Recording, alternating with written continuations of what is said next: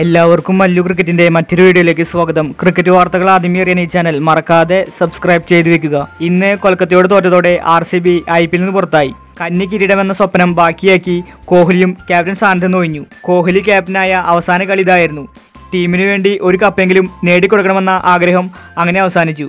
ശരിക്കും ടോസ് ലഭിച്ച R C B batting തിരഞ്ഞെടുത്തതാണ് പരാജയ കാരണമെന്നും ആരാധകർ പറയുന്നു. ഇന്നത്തെ മത്സരത്തിൽ കൊൽക്കത്തയുടെ ബാറ്റിംഗിൽ കോഹ്ലിയും അമ്പയറും തമ്മിൽ ചെറിയൊരു വാക്കരവുണ്ടായി കൊൽക്കത്തയ്ക്ക് വേണ്ടി രാഹുൽ ത്രിപാഠി ബാറ്റ് ചെയ്യുകയായിരുന്നു. ബൗൾ ചെയ്തിരുന്നത് യുസ്വേന്ദർ ചഹലും. ചഹൽ എറിഞ്ഞ ആറാം ഓവറിലെ അവസാന പന്ത് രാഹുൽ ത്രിപാഠിയുടെ പാഡിൽ തട്ടി. സംഭവം കറക്റ്റ് എൽ ബി ഡബ്ല്യു ആയിരുന്നു. ഒറ്റ നോട്ടത്തിൽ കളി കണ്ട എല്ലാവരും ഔട്ടാണെന്ന് വിചാരിച്ചു. അത്രയ്ക്കും സ്റ്റമ്പിന് നേരെ കറക്റ്റായിരുന്നു വന്നിട്ടുണ്ടായിരുന്നത്. പക്ഷേ അമ്പയർ ഔട്ട് കൊടുത്തില്ല. ആർ താരങ്ങൾ എല്ലാവരും ഒരുപാട് നേരം അപ്പീൽ ചെയ്തു. പക്ഷേ അമ്പയർ കുലുങ്ങിയില്ല. ദേഷ്യം വന്ന കോഹ്ലി ഡി ആർ എസ് വിളിക്കുകയായിരുന്നു.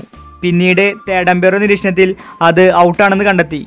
ശേഷം കോഹ്ലി വന്ന് അമ്പയറിനോട് ചൂടാവുന്നത് നമ്മൾ ടി വി സ്ക്രീനിൽ കണ്ടിരുന്നു. ഇത്രയും കറക്റ്റ് ഔട്ടായിട്ടും എന്തുകൊണ്ട് നിങ്ങൾക്ക് ഡിസിഷൻ എടുക്കാൻ സാധിക്കുന്നില്ലെന്നായിരുന്നു കോഹ്ലിയുടെ പക്ഷം. അമ്പയർക്ക് നേരെ ദേഷ്യത്തോടെ വിരൽ ചൂണ്ടി സംസാരിക്കുകയായിരുന്നു കോഹ്ലി. കാരണം അത്രയ്ക്കും കീറുകൃത്യമായ ഔട്ടാണെന്ന് ഒരുവിധം എല്ലാവർക്കും മനസ്സിലായി. എന്നിട്ടും അമ്പയറിന് ഒരു മുഖഭാവം ഉണ്ടായിരുന്നില്ല.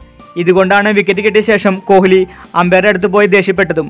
എന്തായാലും ഇന്നത്തെ തോൽവിയോടെ R C B I P L തന്നെ പുറത്തായിരിക്കുകയാണ്. വിജയിച്ചതുകൊണ്ട് തന്നെ കൊൽക്കത്ത ഇനി ഡൽഹിയുമായി ഏറ്റുമുട്ടും.